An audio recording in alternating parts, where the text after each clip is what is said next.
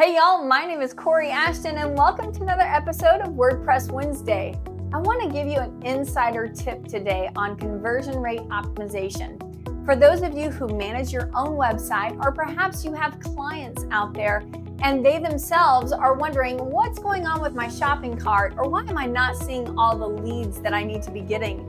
Well, I'm going to give you two quick ideas that might help you be certain to not lose any more leads. You want to absolutely follow these steps to be sure to track your conversion.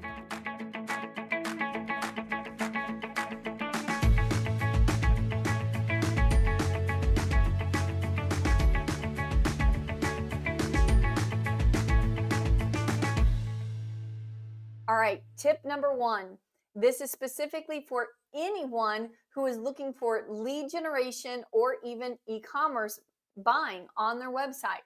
I need you to go over to your Google Calendar or whatever calendar you use on a regular basis every week. And I need you to set a reminder. Don't do it on the first of the month because a lot of times that has to do with billing. But I would say pick something maybe in the middle of the month, maybe the 12th of the month.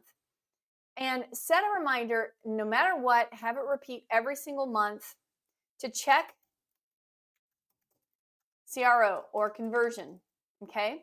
And maybe that's your primary call to action, which is buy now, right? Or fill out this form.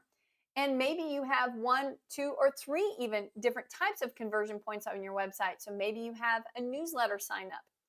This is going to be your primary CRO check in.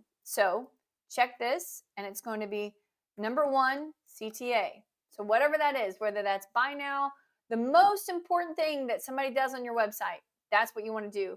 And you want to change it to be certain to uh, repeat monthly. And then you also want to have it send you that reminder via email or whatever it might be. You want it to ping and let you know, hey, absolutely send this reminder. I need it the day of. Save. Now that's going to happen every single month. You're going to see that reminder sitting there on the second Monday of every month or whatever point you put. That's going to ping and let you know, hey, it's time to go check that conversion. So here's what you do you jump over to your website. If it's your number one CTA, you actually complete that conversion point. So if it's coming in here looking for a specific product and going all the way through the buy now, you want to be certain that it works properly. And I know this sounds like, wow, I've got to put in credit card information and I've got to go through the entire process. Yes.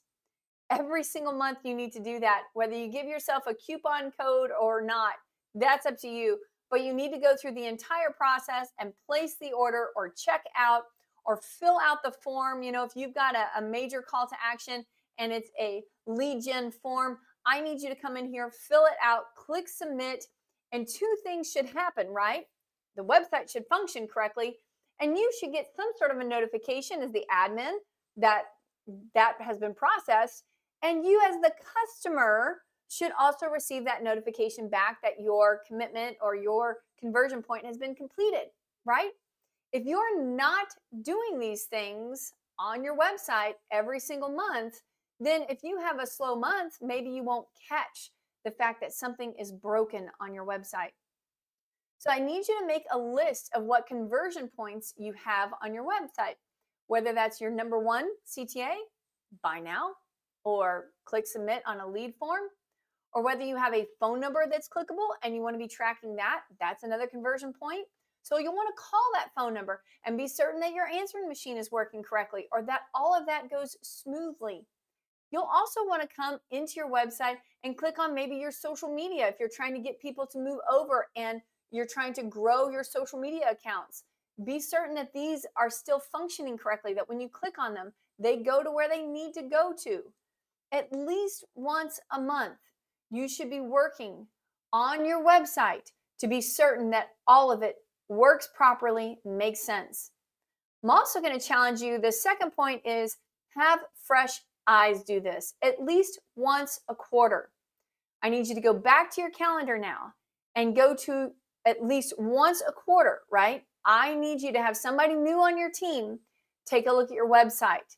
You need to be certain that they understand what they're supposed to do on the website.